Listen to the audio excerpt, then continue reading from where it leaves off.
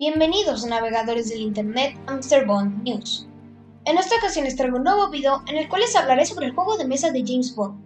Si bien este no es un tema muy relevante, creo que vale la pena discutirlo debido a que tengo la tarea de hablar sobre todo lo que relaciona a James Bond. Bueno, dicho todo esto, ¡comencemos! En el año 1964, año de estreno de Goldfinger, la compañía estadounidense Milton Bradley, conocidos por los juegos de mesa de Terminator y Capitán América, lanzó un juego de mesa basado en el agente 007, quien estaba ganando mucha popularidad en ese entonces con Goldfinger, cinta que comenzaría la llamada Bondmanía, periodo en el que Bond se volvería mundialmente famoso. In the late 60s, there were the three Bs the Beatles, Bond, and Batman.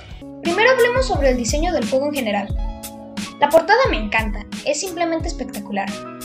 Tenemos a Bond golpeando un matón mientras una hermosa chica lo ve todo. Me gusta mucho el estilo de arte, se ve muy atractivo y por el aspecto de la caja te dan ganas de comprarlo. Quizá lo único que no me gusta es que la parte de la izquierda está cubierta por esta raya gris con el logo de Milton Bradley. Mejor solo le hubieran puesto el nombre de la compañía en la esquina. Aún así, la caja está excelente. Hablando del tablero, la verdad es que es un desastre. Si bien incluye varios colores, la verdad parece que todo está hecho con prisa. No hay orden. No hay. No existe. Solo están estas locaciones y un reloj, pero no hay nada que las relacione además de estas líneas. Asimismo, pienso que las casillas no están tan bien hechas, ya que están demasiado pequeñas a mi parecer. Todo esto hace que te dé una sensación de desorden y la buena impresión que te daba la caja se ha esfumado. Pasemos a las piezas del cubo.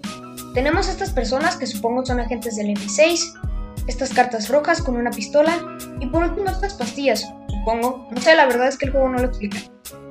Viendo todo esto da la impresión de que aplicaron la ley del menor esfuerzo para el contenido de este juego.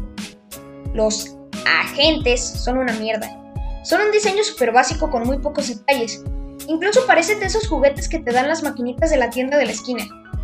Ni siquiera se empeñaron en diferenciarlos, lo único en lo que cambian es en el color.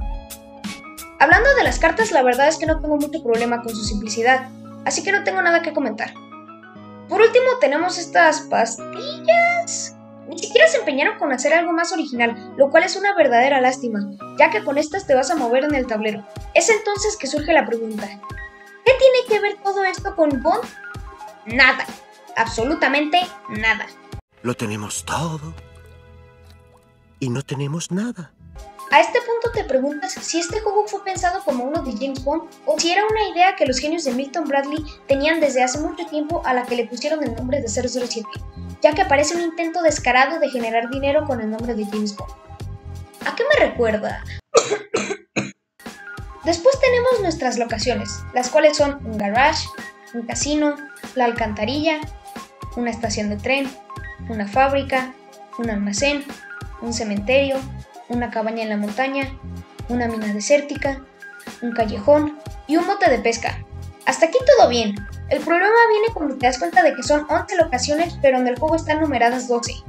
Esto se debe a que no incluyeron la número 9. ¡Estúpido!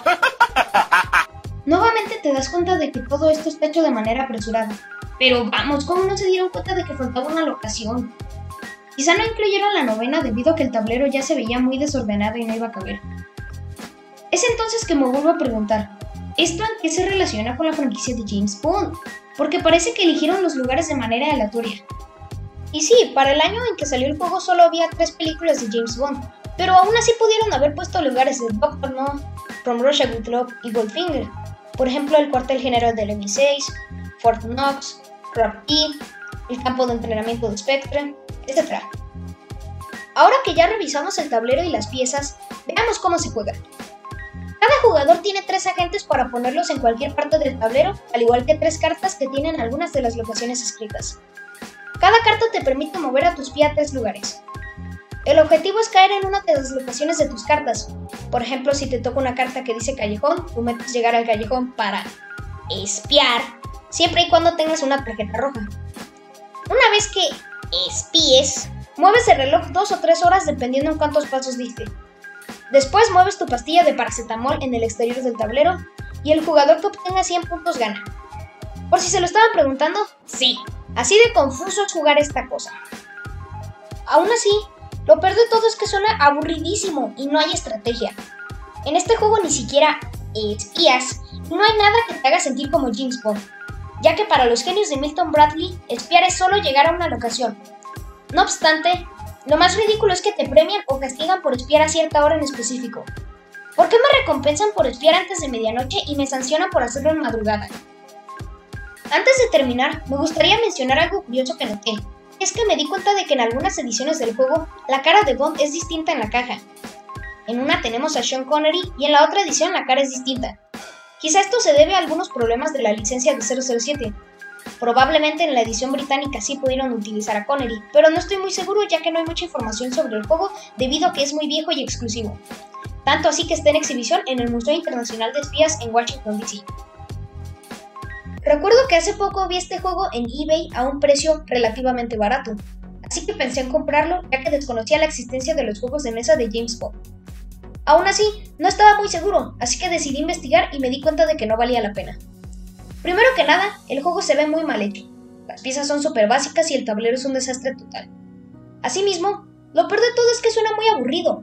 La razón por la que juegos como Monopoly, Clue o Adivina quién trascendieron es porque eran innovadores. Sin embargo, aquí con James Bond no hay nada de eso.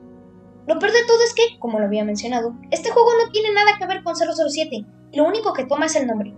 La única razón por la que lo compraría sería más por razones de coleccionismo y no por el juego en sí. Bueno, por mi parte esto ha sido todo, espero les haya gustado el video, dejen un like, suscríbanse y compartan el canal con sus amigos. Nos vemos hasta la próxima. Si eres fanático de James Bond, sus películas, series, cómics y videojuegos, has llegado al canal correcto, ya que aquí tengo la tarea de hablar sobre todo lo que relaciona a James Bond. Así que suscríbete y activa esa campanita.